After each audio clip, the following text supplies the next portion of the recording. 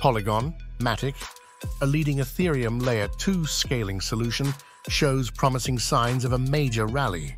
Despite fourth quarter price fluctuations in 2023, Polygon gained 15.2 million new users in January 2024, setting the stage for a potential breakout.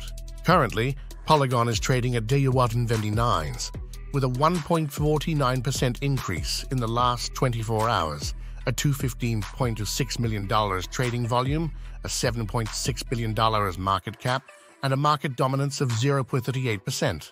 Notably, Matic is trading above the 200-day simple moving average, indicating a positive trend.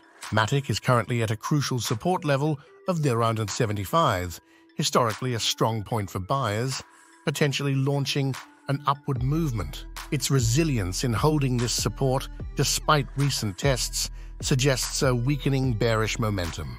In the past month, Polygon saw an 8-10% price surge, aligning with the broader altcoin trend.